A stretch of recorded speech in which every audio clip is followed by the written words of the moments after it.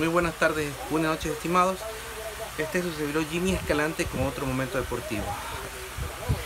Créame que este partido de Barcelona comparado con los otros dos que tenía frente a Progreso y frente a, a Sporting Cristal, este era la prueba de fuego para Barcelona. Porque justamente, justamente con este rival que es, el, que es el Cerro Porteño, se iba a saber si realmente Barcelona estaba en posibilidades de llegar a la etapa de grupos. Recuerden que no está todavía clasificado a la Copa. ¿Ya? No está clasificado a la Copa. Pero de este resultado, porque era resultado de local, dependían muchas cosas. Tengo que destacar lo siguiente. Barcelona en ofensivo fue muy limitado. Ni Díaz ni Emanuel Martínez funcionaron. Y tiene una explicación. Porque Cerro Porteño se defendió con dos líneas de cuatro. Marcó a presión, cerró espacios y eso le impidió que el cuadro amarillo genere su fútbol. Y todos sabemos que si juega Díaz, el fútbol de Barcelona es lento. Hoy quedó demostrado de que Díaz ya no está para, para partidos de esta magnitud. Pero ya vamos a ir con ese análisis. Ya vamos a ir con ese análisis.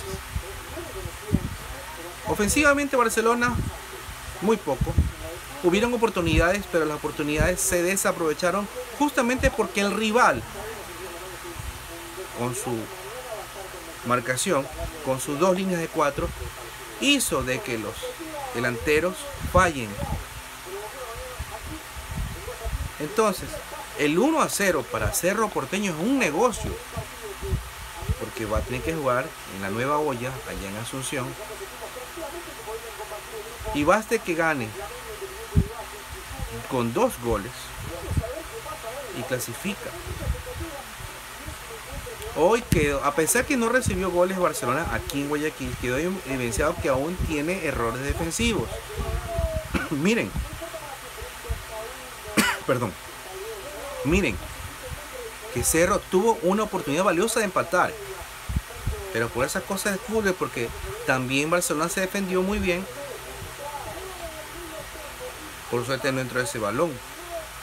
Pero ahí Cerro lo que hizo fue la típica el típico fútbol paraguayo. Tenga balón, rueda, esconde el balón. Porque miren, después el gol ni siquiera se desesperó. Para que en este caso vaya a tratar de conseguir resultados. Más bien, aguantó, esperó al rival y escondió el balón. Algo típico en los paraguayos. Porque sabemos que ellos son jugadores que tienen esas características. Barcelona solo corrió. Corrió con Fidel, corrió con Alves. Y los generadores no hicieron su función porque el rival no los dejó. Pero hay algo que quiero destacar aquí. No sé si, si Bustos hizo los cambios justamente para aguantar ese 1 0 porque sabía que tenía enfrente un, un rival que tranquilamente podía pintarle la cara si él iba a la ofensiva, el cuadro amarillo iba a la ofensiva. Pero quiero destacar esto, los cambios, porque eso demuestra que solo quiso Bustos el 1 a 0. Primer cambio, entra Byron Castillo y sale Emanuel Martínez. Esto pasó al minuto 71. Segundo cambio.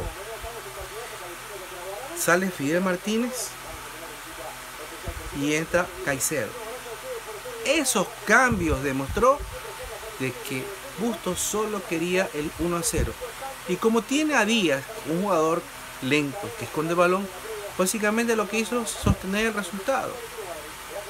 Porque si hubiese sido un técnico más ambicioso, sacaba días, ponía un jugador que acompañe a Martínez para que trate de generar fútbol y por lo menos meterle más dinámica para romper ese cerco que impuso el cuadro de, de, del director técnico Arce. Pero hizo todo lo contrario, cerró el partido al minuto 71 y 75 con los dos cambios que les acabé de mencionar. Cerró el partido. Se conformó con el 1-0. Y el último cambio, que ya vimos que fue que entró Quiñones y salió este, Alves. Alves es otro punto que hay que tocar. ¿Por qué? Porque Alves ya solo corre. Y eso siempre ha sido así. Toda la vida ha corrido, pero técnica le falta. Y como está todavía falto de fútbol, porque no, no tiene todavía un ritmo de alto nivel, se lo vio, se lo vio como con ganas. Y esas ganas hacen que Alves no puede anotar. Se siente presionado por los goles, pero él no se da cuenta que esa desesperación que tiene perjudica a Barcelona. Díaz también está demostrado que Díaz es un jugador lento. Mientras estuvo Alves y estuvo Díaz, Barcelona jugó con nueve jugadores. Y lo mantuvieron los 90 minutos a Díaz cuando tenía que ser Martínez, Edmundo Martínez, que tenía que mantener el juego en el campo de juego, pero lo mantienen a Díaz. Era, era irónico escuchar que dice que Díaz enamora, que Díaz, pero no es jugador que trascienda. No es jugador que trascienda, porque miren, jugó en los tres cuartos de cancha y las pocas veces que que entró al área rival, no pasó nada. Inclusive un tiro, un tiro que, que llevaba un balón dominado porque nadie lo marcó. ¿Qué hizo? La pateó. Y un tiro débil. Eso pasó. Ahora, ¿qué pasará en Asunción? Nadie lo sabe. Porque este resultado 1 a 0 le favorece al Cerro al Cerro Porteño. Ojo, un, jugado, un partido jugado tácticamente por Cerro, que prácticamente demostró que si le cierras espacio a Barcelona no funciona. Así lo hizo el técnico universitario, así lo hizo Cerro Porteño, y así lo hizo Alianza, perdón, lo hizo Sporting Cristal en los últimos minutos del anterior partido. Entonces, Barcelona está para grandes cosas. Aún no se sabe. Ya muchos dicen que va a ser el futuro campeón de la Copa Libertadores, pero con el juego que está mostrando, ¿ustedes creen que va a llegar? Síganme en mis comentarios, ya saben, pueden dejar comentarios aquí al final de este video.